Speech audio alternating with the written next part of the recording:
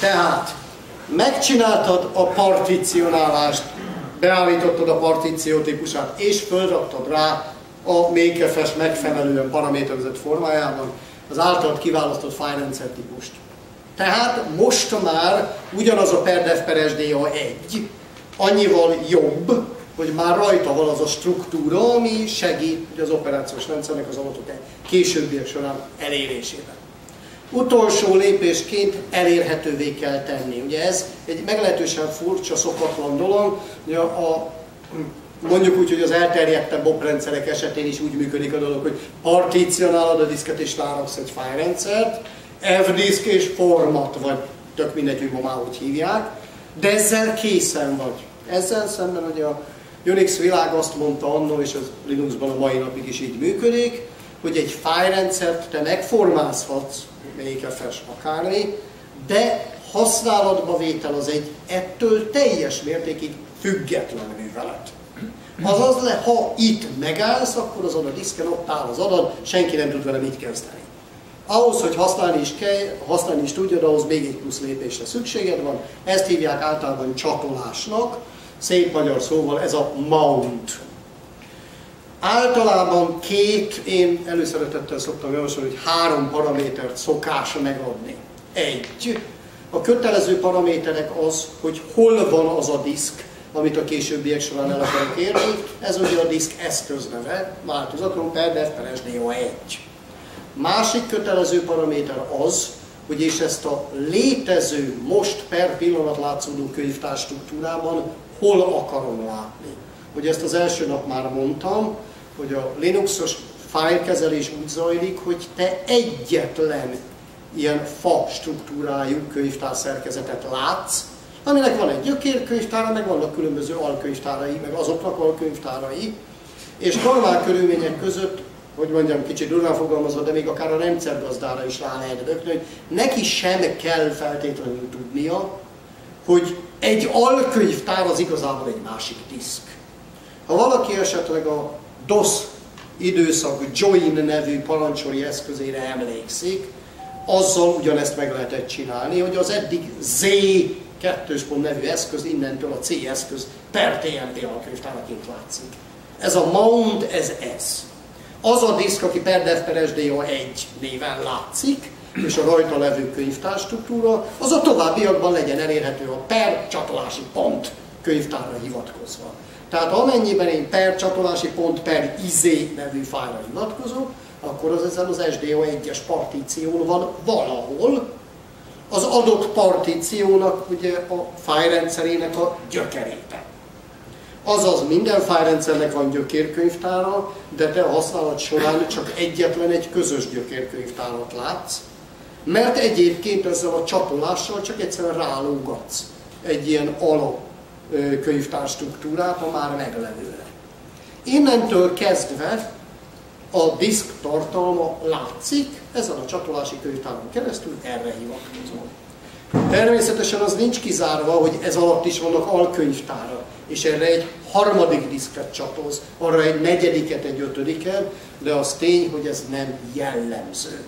Általában már az, hogy három egymás alatti szintben lennének csatolva, már az is a ritkaság kategóriába tartozik. Jellemzően inkább az, hogy van a gyökérkönyvtár, és annak ugye a gyökérkönyvtár tartalmazó fájrendszernek a saját tartalma, és annak különböző al vagy al-al könyvtáraira rácsatolnak valamit, és kész. Tudtommal nincs korlátozás, hogy milyen mélységig lehet, mondom, nem jellemző az, hogy akár három vagy pláne ennél mélyebb struktúrákat hozzanak létre. Innentől kezdve, ha tehát megadtad az eszköznevét, a könyvtár nevét, ahol láttatni akarod, és sikerrel felmontoltad, akkor az adott diszk terület írható, olvasható ugyanúgy az első vagy második napon taglalt jogosultságok függvényében, mint hogyha ez az eredeti diszkeden levő eredeti adattartalom lett volna. Na most én azt mondtam, hogy két paraméter kötelező, de én hármat szoktam javasolni. Ez ugyanaz, mint ahogy az MKS FS-nél megadtad, hogy milyen típusú a fájrendszer. Én személy szerint általában preferálom, hogy a mountnál is nyugodtan mondd meg, hogy milyen típusú a fájrendszer. ennek valódi jelentősége Linux alatt meglehetősen csekély, ugyanis kellően intelligens ahhoz, hogy fölismerje. Gyakorlatilag talán az egyetlen, ahol ez nem egyértelmű, az mondjuk egy ext2, ext3 esetben, ugyanis, mint mondtam, az ext3 az csak annyi, hogy van rajta egy logolás, tulajdonképpen bekapcsolva, simán megteheted, hogy fölmantolod ext2-ként, ez azt jelenti, hogy annantól kezdve ugye egy gyorsabb, mert nem logoló, cserébe ugye kicsit kevésbé biztonságos tárolóterület van. Én viszont úgy vagyok vele, hogy ha tudod, hogy az egy egyszerűség kedvéért XFS fájrendszer, akkor ne az automatizmusban bízzál, hogy jól találja ki, hanem mondd meg, hogy az egy XFS fájrendszer. Én ugyan még nem találkoztam vele, sőt elvisíkon is eléggé irrealitásnak tartom, Na de mi van, ha az algoritmus félreismeri? Ha most én tudom, hogy az XFS, és megmondom neki, akkor ha ő XFS fájrendszerként nem tud vele mit kezdeni, akkor kapok egy hibát, tehát tudom, hogy baj van. Ha tudom, hogy XFS, nem mondom meg, ő meg, tök mindegy, rejzelefesnek tekinti, és elkezdi rejzelefesként használni, annak nyilván egyetlen következménye lesz. Ezt is hamarosan észre fogom venni, csak sokkal fájdalmasabb lesz kijavítani. Elismétlem, nem tartom reális veszélynek egy ilyen jellegű félreismerés, vagy félre diagnosztizálásnak a valószínűségét. Megkísértsük az ördögöt. Ezt a végén leszeded a Linuxodat és FreeBSD-t telepítesz, mi lesz még ebben. Na, úgyhogy maradjunk annyiba, ez ugyan nem kötelező, de én mondjuk szeretem megadni. Ezen túlmenően Bizonyos esetekben fontos lehet és szokták megadni, vagy van, ahol egyértelműen kötelező, az adott fájrendszer kezelésével kapcsolatos egy millió paraméter, néhányát a parancsorban. Ezek között van olyan, aminek van saját, para, saját opciója, tipikusan minusz R, azt körülbelül minden fájrendszernél lehet használni, és azt jelenti, hogy egy úgynevezett read-only mount, Magyarul még a rendszergazdának sincs joga módosítani a tartalmát. Illetve van olyan opció, aminek, csak van olyan paraméter, amit nem lehet ilyen rövid opcióval megadni. Ezek tipikusan mínusz O, és utána egy hosszabb, rövidebb string formájában adhatunk meg. Például a read only van, ahol mínusz O, RO, van, ahol mínusz O, read only formában is meg lehet adni, és nem csak úgy, hogy mínusz R. Ez mondjuk tényleg talán a leggyakrabban használt opciók egyike, de minden fájrendszerre van egy szép kis dokumentáció, ami leírja, hogy na azon a fájrendszeren milyen paramétereket lehet megadni. Ezt nyilvánvalóan érdemes megnézni, elég sok eléggé vadállati dolgot lehet, olyat, ami teljesítményre van pozitív hatással, és ahhoz képest, hogy mondjam, elhanyagolható a hátulütője, van olyan, ami a teljesítményre pozitív hatással van, de elég komoly biztonsági tényező, tehát el kell döntened egyértelműen. Van olyan, aminek nem is teljesítmény hatása van, tehát érdemes mindenképpen utána nézni, és természetesen, ha szükséges, akkor ugye a parancsolva meg kell adni. Na most, hogyha a területet már nem óhajtod használni, hát akkor szimplán megszünteted, azaz u-mountolod, lecsatolod az adott fájrendszeren, az úgymond egyike a eléggé viccesen kitalált parancsoknak, gyakorlatilag mindenki belehallja, hogy az unmount, nagy esélye ugye onnan is jött, csak magában a parancsnévben nem szerepel, az az első N. Csak az érdekesség kedvéért van egy nagy Unix gyártó, aki még abban a háromban, aki van, még létezik, akinél létezik unmount parancs, és ők leírták a dokumentáció, hogy felhasználni igényre hozták létre. Nyilván szegény rendszergazda képtelen volt megtanulni, hogy ide nem kell az az N. Na mindegy. A lényeg tehát, ha már nem kell, akkor mount, paramétere pedig hagyományosan a könyvtár neve, elvileg egyébként megadhatod az eszköznevét is, sőt mindenféle egyéb módon is. Megmondhatod, hogy melyik az a fájrendszer, amit a továbbiakban nem akarsz elérni. Na most, emellé még egy művelet tartozik, én az általános nevét írtam le, FSCK-nak FISC-nek hívják, és a File System Consistency Check rövidítéséből jön. Gyakorlatilag ez az a művelet, ami a nem szabályos fájrendszer leállítás esetén, ha jól van rendszerbe állítva, akkor automatikusan lefut, ha te biztos akarsz lenni a dolgodba, akkor te egy leállított fájrendszeren kézzel lefuttatod. Ez szolgál arra, hogy korrekt, kezelhető állapotba kerüljön a fájrendszer. Természetesen senkit nem akarok elrémíteni tőle, erre vonatkozóan is lehet borzalmas történeteket olvasni. Addig még csak-csak, de amikor ráengedtem az FSCK-nál, igazán jól akkor sikerült elrontani. Mindenki tudja, hogy van egy ilyen mondás, hogy az ember az a számítógép nélkül kizárólag csak olyan hibákat tudna előállítani, amit ő képes kijavítani. A számítógéppel azért elég rendesen össze lehet kuszálni a dolgokat. Na most ez is ez a kategória. Ma azért a általam legalábbis stabilnak minősített fájrendszereknél ilyesmi sokkal valószínűbben hardware hiba, vagy emberi hiba. Leggyakoribb emberi hiba egyébként szimplán annyi, hogy azt mondjuk, hogy FSCK disk, amely disk közben föl van mountolva.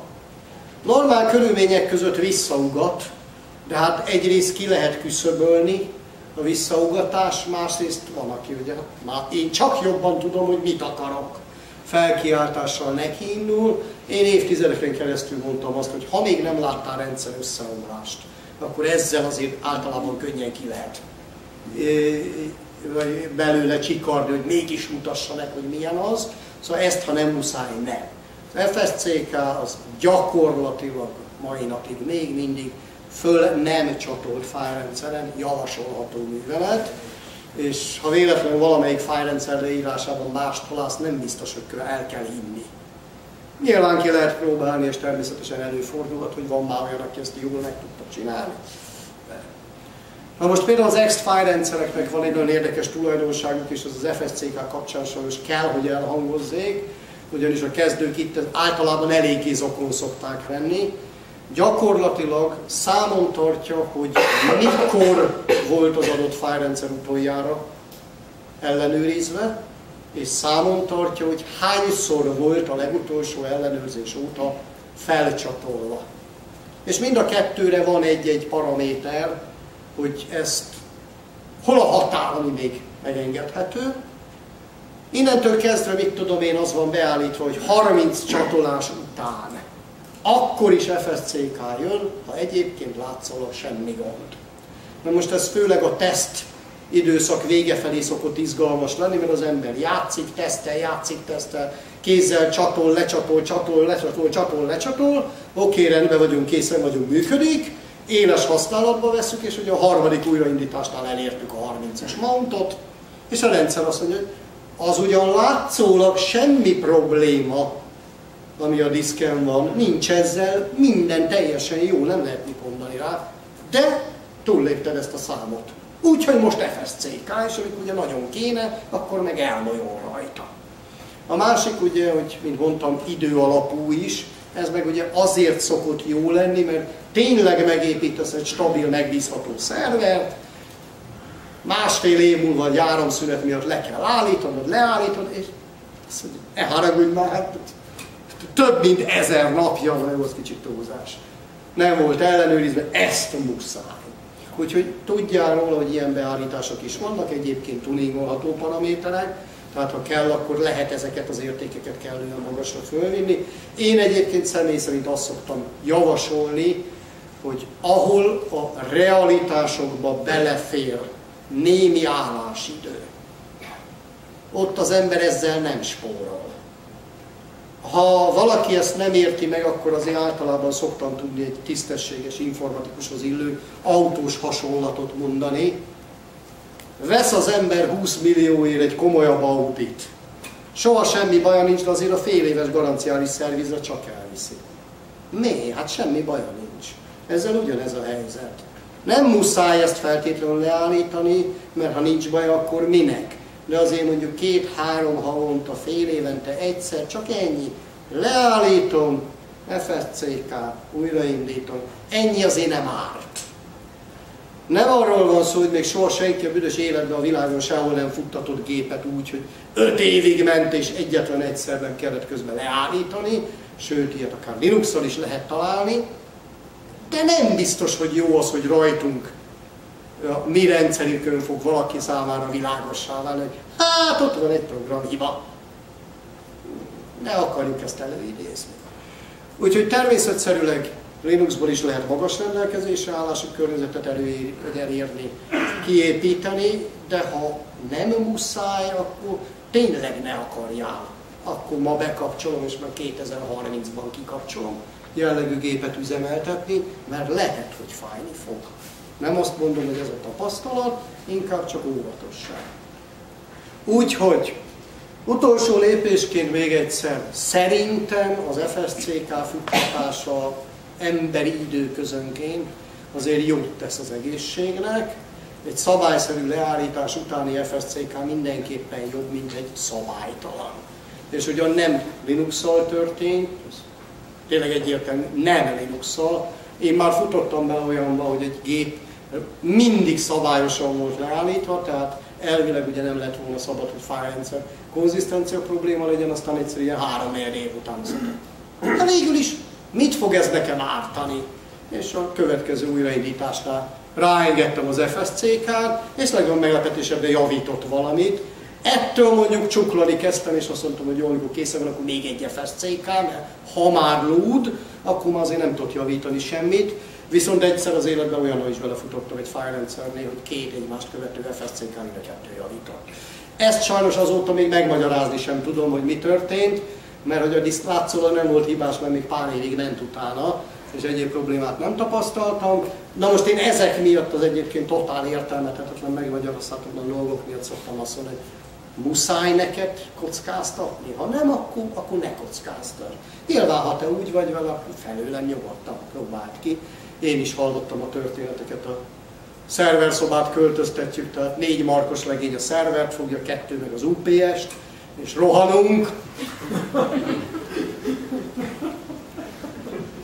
Nem biztos, hogy ez az ideális megközelítése ennek a problémának. Na, úgyhogy én úgy gondolom, hogy a fájrendszerről tulajdonképpen már csak egy apróságot kell mondani. Mint említettem, a per, dev, per, SDA jellegű eszköz elnevezéssel van egy kis gond, bizonyos környezetben fölvet némi bizonytalanságot az, hogy Jézusom a holnapi újra buttál is így fogom-e hívni a diszkemet. Mint mondtam, ez egyébként ma már azért nem akkora gázos, és úgy fogom hívni.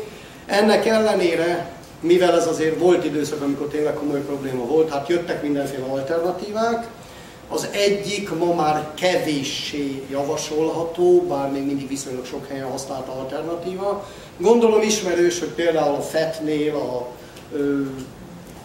NTFS-nél is, az X2-nél, X3-nál, egyéb Linuxos fájrendszereknél is létezik egy olyan, amit úgy hívnak, hogy címke vagy a label.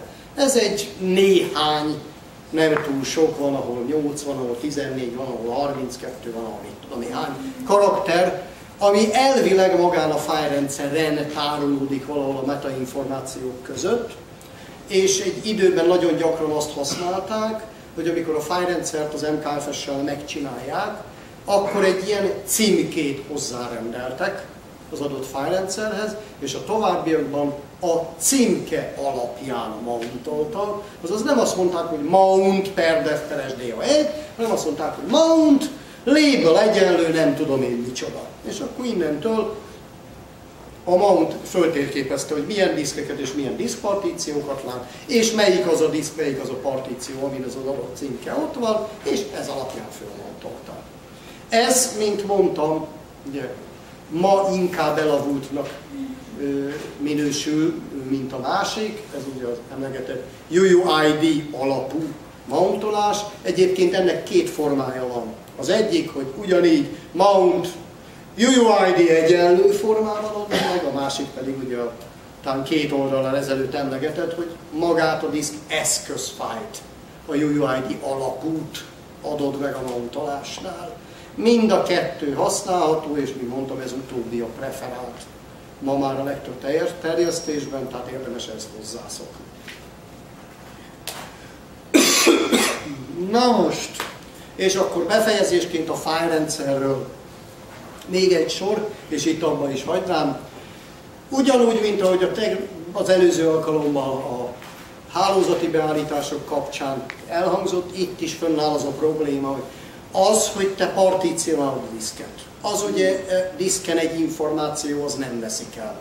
Az, hogy fájrendszert raksz rá MKFS-sel, ez nem veszik el. De az, hogy fölmountolod valahova, az természetesen ugye elveszik abban a pillanatban, hogyha újraindítod a rendszert. Következésképpen, ha szeretnéd, hogy legalább ezt már ne kelljen minden egyes rendszerindításnál kézzel, akkor erre is van egy konfigurációs fájl. Ez hagyományosan a per etc per fstab, File System Table nevű fájl. Egy sor, egy bejegyzés, hat darab szóközökkel, tabulátorokkal elválasztott mező. Első mezőben az eszköz név kötelezően, most természetesen nem igaz, mert ugye írhatnád a label egyenlőt, illetve ugye ezt a UUID is formát, Második mező kötelezően az, hogy te milyen könyvtárra szeretnéd csatolni, hol óhajtod látni. Ugye a csatolási pont. Harmadik, kötelezően megadandó paraméter a file system típusa. Tehát igaz ugye, hogy a kézi mountnál nem, de legalább az automountnál mindenképpen meg kell adni. Legalábbis én még nem hallottam róla, hogy azt valamilyen trükkös módon ki lehetne hagyni és rá lehetne bízni, hogy fölismerje. Azaz így is úgy is meg kell mondanod, hogy milyen típusú. Na most, a negyedik mező az kötelezően a fájrendszer csatolásakor megadandó opciók. Írhatod azt, hogy default, default, megírhatod azt, hogy és vesző, és írod a többi paramétert. Ugye ezek azok, amiket mondtam, hogy jellemzően mínusz O valami formában megadott egyéb módosítók. Ez a négy paraméter eddig is elhangzott, a két utolsó FS tabbeli információról viszont nem volt szó a korábbiakban. Van egy mentő szoftver, amely 10 úgynevezett mentési szintet támogat. 0, 1, 2, 9. A alacsonyabb szám alacsonyabb mentési szintet jelent. A nulla konkrétan azt, hogy mindent elmentünk, a többi mentési szint azt mondja, hogy csak, azokat mentjük, ami a legutolsó, nálunk alacsonyabb szintű mentés óta változott. Tehát ezzel a szoftverrel lehet ilyen úgynevezett inkrementális mentéseket csinálni. Na most itt gyakorlatilag azt mondod meg, hogy mi az alapértelmezett mentési szint, amit az adott fájrendszerrel szeretnél te végrehajtatni, akkor, amikor ugye az adott fájrendszert ezzel a szoftverrel ment. Na most, hát ezt lehet megadni. Technikailag az, hogy én ide egyet írtam, az majd, hogy nem azt lehet hogy ez hiba volt, jellemzően nullát szoktak ideírni. Egyébként, ha ez a nem kötelezően megadandó mező hiányzik, akkor az egyébként ténylegesen nullát. Magyarul ugye minden létező mentésnél mentünk című funkciót jelent.